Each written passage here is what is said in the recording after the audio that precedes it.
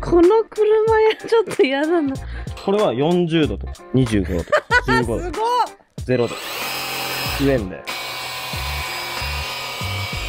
マジ？すごい。優しい人が世の中を良くするために使うのが知識であって人を攻撃するために使う知識は何の意味もないです。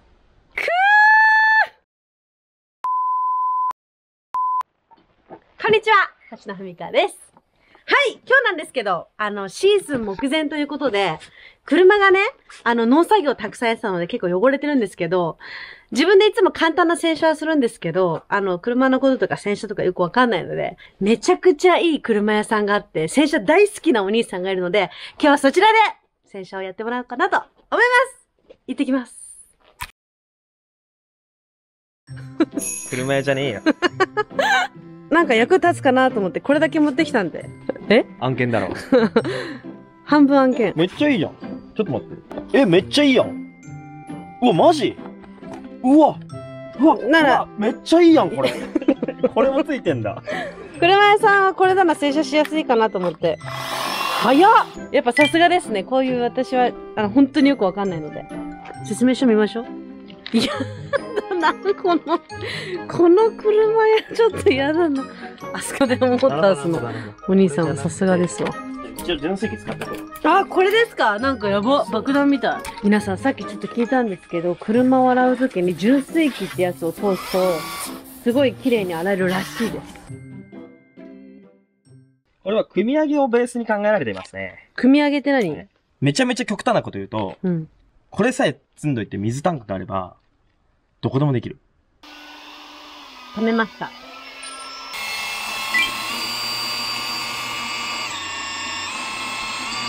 なるほど。トラクターとかさ洗うでしょ？もらう。で洗うところに持ってかないといけないじゃん。うん。あぜの途中とかで洗いたい時ない？あー、あるあるある。あるでしょ？これだけ持ってったら、うん。溝にポンってつけて、で、こうやって。パーって土だけ洗って、そ走ってけんう、だ。そうそうそう。それはいつもさ、ベト、土をさ、道路に残しちゃうからどうしようと思ってたんだよね。でしょ？で、究極こういうタンクとかバケツあれば、洗える。これ、ペンって入れといてさ、うん。これできる。よかったです。そんなあの、車屋さんにあと、喜んでもら。これは40度とか、25度とか、15度 すごい0度。上んだよ。で、シャワーがそう。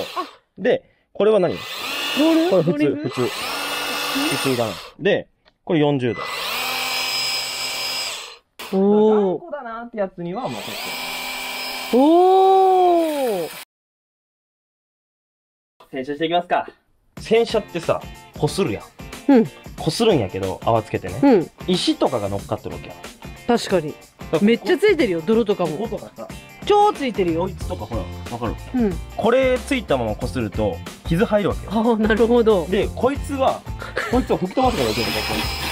はいはいはいはいはで、で、これぐらいのパワーじゃ全然こう、車自体が痛め、痛めたりしないから、ーん。大丈夫。あの、傷つけちゃう汚れを、ピンポイントとして全体的に濡らす。へえ。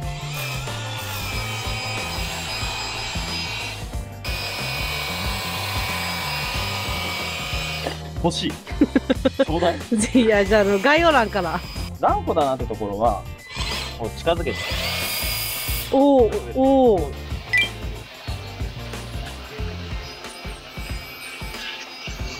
これ頭入ってるんだ。これ。うん。これは、洗剤を入れて、水と一緒に吹き出す。で、これはまあ、洗剤は何でもいいんだけど、今回虫がめっちゃついてるんで、アルカリ系のシャンプーを。それを？どこに？この頭をさ、付け替えれるんだよ。ね。こうね。おー、すごで、つけるじゃん。いうん。お、おーすげえマジ？すごいマジ車屋さんじゃん。江口さん。うわーうわ若干虫くんたちとか、ー虫くん？うん虫くん？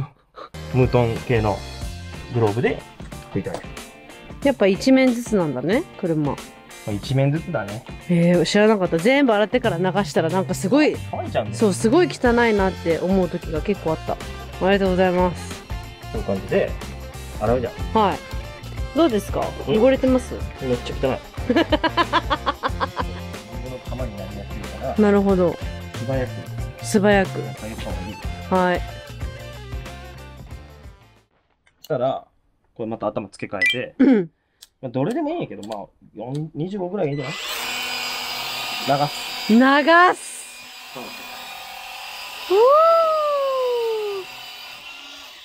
こういうさ、隙間とか、こうん？こも、こうやって、こうやってあげると、ほら、泡めっちゃ出るやん。もう。まあこれがいいんだよ。この、洗浄機。へさっきアルカリのに洗ったんやけど、次はもう中性洗剤。ー。なんで？雪虫すごいんです。すごい今一気に虫が来た。中性洗剤で、さっきのアルカリ洗剤を流すみたいな。あとこれ、撥水も入ってる、なんかちょっとお手頃なやつ。へえ。え、また洗うの？そう。ええ基本1回でいいんだけど、全然洗ってねえから。ー、わかりました。だからこういうシャンプータイプのコーティング剤塗るにはめっちゃいいよね。こいつで、一回洗った後にもう一回それする。だあ、そういうのが入ってる液体でね。へえ。からもう全面こすって洗ってるから、はい。とりあえず汚れ落ちてるから。厳密に言うともっと汚落としたい汚れはあるけど、あの、めっちゃ時間かかるから。へえあ、すごい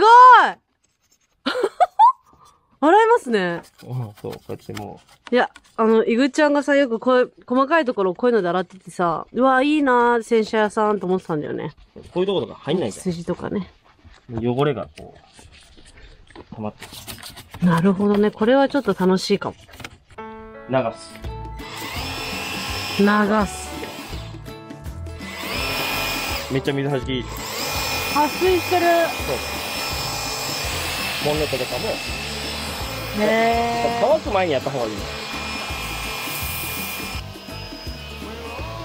ツヤツヤで水はけが良くなったす。ごいです。そうだここってちょっと撥水があんま乗らなかったんやけど、うん。水残ったんです。でもここはさ、撥水してるからさ、一回拭くのほら。ほんとだ。だから撥水すると、洗車の時にすごい楽になる。へえ。撥水効いてるから別にゴシゴシしなくてもそうなんだ。洗剤は撥水効果があるやつをゲットするといいかもしれない。時と場合によるらしい。いい感じです。あ、ピカピカ。ピカピカやん。これでもう冬バッチリ迎えられますわ。そうなんですよ。相棒なんで。いや、そうだよな。私全然車の知識ないんで。山はこれないといけないからね。そうだよね。もっと車のこと勉強しろとか怒られないですかね？大丈夫です。その人たち教えてくれるんで。知識は、あの、あれですからね。そうやって人を叱るためにあるんじゃないんですよ。優しい人が世の中を良くするために使うのが知識であって、人を攻撃するために使う知識は何の意味もないです。この洗車屋さんすごいな。はい。コードレス高圧洗浄機。はい。よかったですか？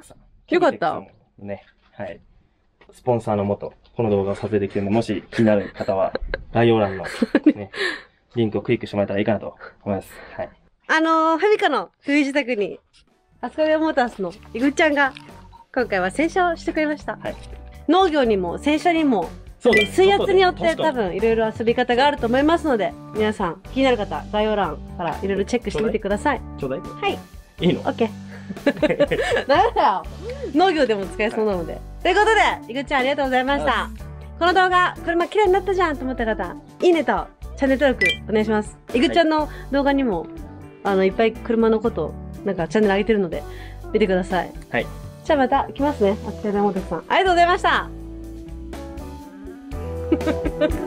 た。